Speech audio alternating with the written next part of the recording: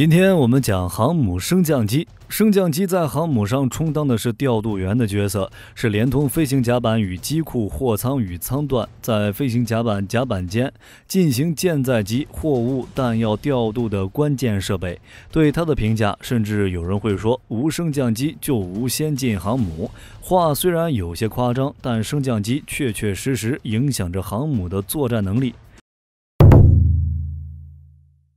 若是我们将航母上的升降机进行分类，大致能分为飞机升降机和航空弹药升降机两大类，一个管舰载机，一个管航空弹药。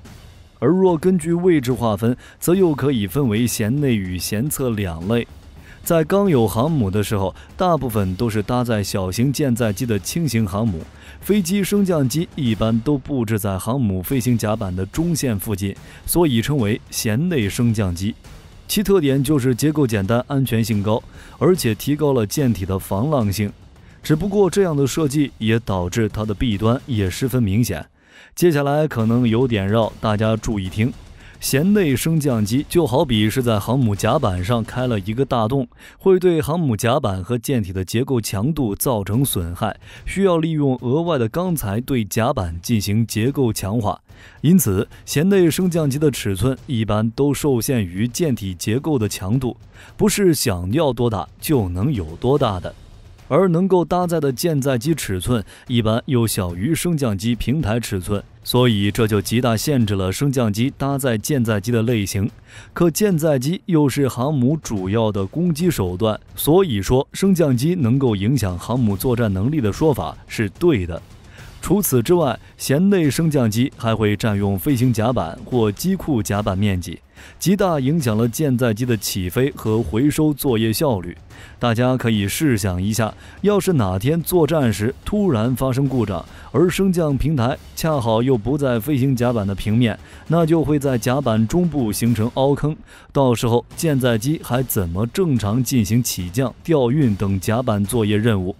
而且随着科技的发展。和海上作战需求的提升，现在我们能看到或即将看到的航母都在朝着大型化和高度专业化方向发展，能够搭载的舰载机数量也是越来越多。如何合理利用飞行甲板和机库甲板面积，逐渐就成了各国航母设计的重要方向。于是就研发出了舷侧升降机。其位置是在飞行甲板和机库甲板的舷侧。与舷内升降机相比，舷侧升降机不需要在中线处设计大开口，能够保证舰体结构的强度。它采用三面固定、一面开放的方式，只要舰载机机体宽度和高度小于机库舷侧的大门开口，就能搭载，让航母对舰载机类型有了更多的选择。而关于升降机的数量、安置位置以及升降平台的要求，其实，在设计时就要根据舰载机的搭载类型、数量以及保障线路进行设计确定，目的便是要尽可能的提高航母舰载机的出动和回收效率。就是在干仗的时候不能掉链子，既要能满足起飞攻击、降落补给的需求，又要能适应不同舰载机上舰来串门，而且还不能影响到舰载机舰面作业时进出机库的路线。要保障在战时能将舰载机快速放置在弹射起飞区或待机区就位，结束后迅速回归甲板下的机库中。就像美国现役的大型航母，其飞行甲板上一般都设置有四部舷侧升降机，分别位于左舷斜角、甲板尾端一部，右舷舰岛前两部，后一部。这种源于小鹰级航母上的升降机布置方式，凭借着舰载机进出机库路线的优越性，成为了美美国核动力航母时代的标准形式。而舷侧升降机的升降平台，影响着航母运转舰载机的能力。其最基本、最简单的舷侧升降机形状，就是近似方正的矩形，如美国早期的弗里斯特尔级航母，或是俄罗斯的库兹涅佐夫号，他们使用的就是标准的矩形升降机。能够同时搭载两架固定翼舰载机，运转重量在四十吨以上。但后来因为具体需求的差异，航母升降平台上的形状又有了新的变化。比如，在美海军现役的航母中，美海军就在其舷侧升降机的基础上增加了一块三角形区域。虽然这块区域面积不大，但却能像收纳折翅海鸥一样，容纳下固定翼舰载机折叠后的一侧主翼，直接增加了升降平台的有效搭载空间，改善了舷侧升降机同时运转两架固定翼舰载机时空间局促的情情况。也使得舰载机在进出机库或在舷侧升降机停放时更为随意，更加的自由。那要是有人问我的舰载机就是长怎么办？其实美海军在设计时针对这些机身较长的机型是有特殊停放方法的，即沿着三角形的斜边方向停放，而且这种特殊的入库方式比正向进入时更便于在机库内进行转向。比如法国戴高乐号上升降梯的梯形形状，就是在此基础上优化设计而来的。舷侧升降机主要由多个构件组合而成的，其作用在航母体现得淋漓尽致。而这个作用的过程也叫米格二五效应，即整体能力大于个体能力之和。这个内容火力军会放在以后的视频里讲。它结构的基本原理如同电梯升降一样，通过液压的方式来带动钢索，然后拉动升降平台上的拴固点，来达到升降平台的目的。而在此过程中，舷侧升降机的结构不仅要能承受升降平台的自重额定载荷，还要承受外在的风载、浪载，以及由于航母在升降平台运动时所产生的动态载荷。因此，在航母设计的过程中，在满足舰载机转运需求的前提下，升降平台要尽量做到轻量化，这样才能够降低自重，为搭载更多的舰载机提供条件。现如今，凡是大中型航母上用于舰载机转运的升降机，基本上都是舷侧式，转运的能力都在四十到六十吨。除了刚才提到的弗里斯特尔级和库兹涅佐夫级外，美国的尼米兹级航母也在其列。它的升降平台宽度为十五点九米，机库端的长度为二十三点五米，舷外侧为二十五点九米，整体的面积在三百六十平方米以上。空间上不仅可同时载运两架固定翼舰载机，需要的话还能再停放下一架海鹰直升机，其转运作业效率也很高，在飞行甲板和机库之间运行一次只需二十五秒，加上装卸备停的各十五秒时间，也就是说，舷侧升降机在一分钟内即可完成舰载机在飞行甲板和机库甲板间的转运。舰载机转运问题解决了，研究者们就将目标投向了航空弹药升降机。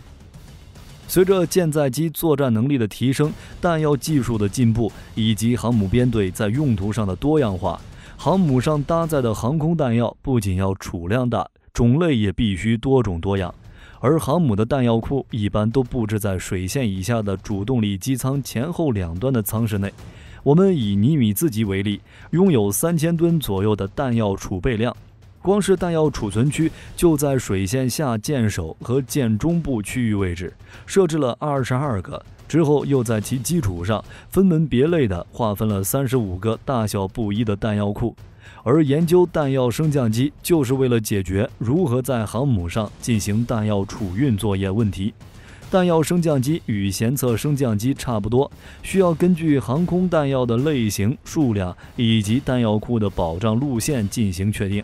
同时还要保障安全性，不然对敌时自己就直接殉爆了。就像俄罗斯库兹涅佐夫号，在转运路线上采用了直通式设计。如果航母遭遇袭击，那它下层的弹药舱就会变得十分危险，搞不好会步了莫斯科号的后尘。所以美国人可不会这么傻，出于安全考虑，美航母的弹药升降机直接采用了交错式设计，分为下层和上层两种升降机。如尼米兹级航母就有六部下层弹药升降机和三部上层升降机。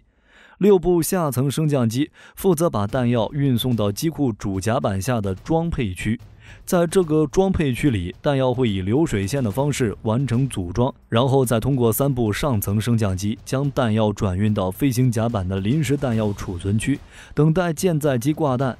而且下层升降机如果连通机库，在进行大量航空弹药出库或不及时，还能够利用飞机升降机进行转运，一定程度上拓宽了飞机升降机的使用功能。